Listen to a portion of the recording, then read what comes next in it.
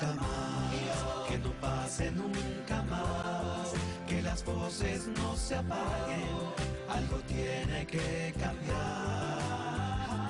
Nunca más, es la hora decisiva, derecho a las armas o derecho a la vida.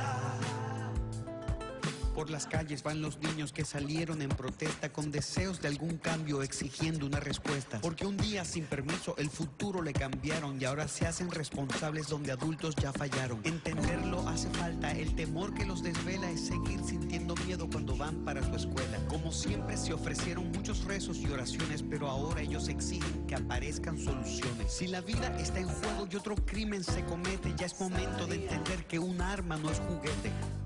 Tras año lo mismo va pasando, las leyes no se cambian y se sigue disparando. Son niños los que hablan, pero no los subestimen porque sobran los adultos con conductas infantiles. Los políticos lo entienden y con esto a nadie engañan. Todos saben que las armas patrocinan sus campañas. Por esto titubean o andan inventando que la forma de arreglarlo es con maestros disparando. Lo que se hizo en otros lados, lo repito sin cansarme, acabaron las masacres cuando hicieron el desarme.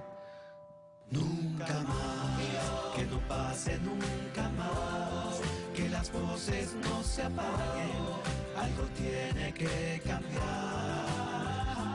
Nunca más, es la hora decisiva, derecho a las armas o derecho.